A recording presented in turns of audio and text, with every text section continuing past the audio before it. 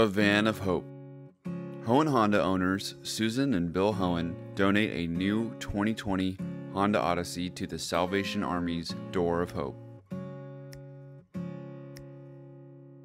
This new Honda will be used to transport families to meet landlords and apply for apartments, help families move into their own place, and transport families for basic needs like groceries and medical appointments.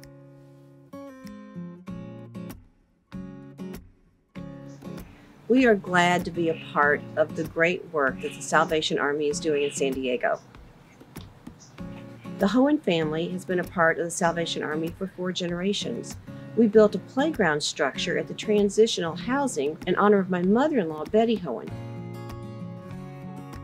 I'm so happy that now my grandchildren are familiar with the Salvation Army, and they are part of what we do as a family to help others. The Salvation Army is doing a great work in San Diego. They're helping the homeless, the helpless, and the hurting get a new start in life, have services that they need. We want to be a part of that effort.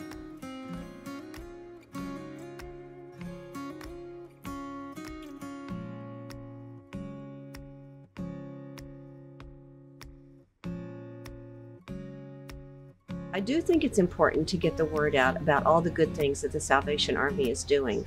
I brought friends over to the Door of Hope, for instance. I want them to see the new buildings that have been built there, the new facilities, and the new advantages that are going to be there to help the homeless, the hurting, and the helpless in San Diego.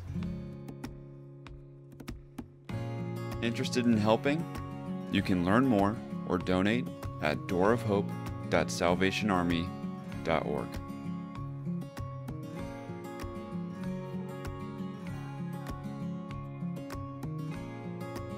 Thanks for watching.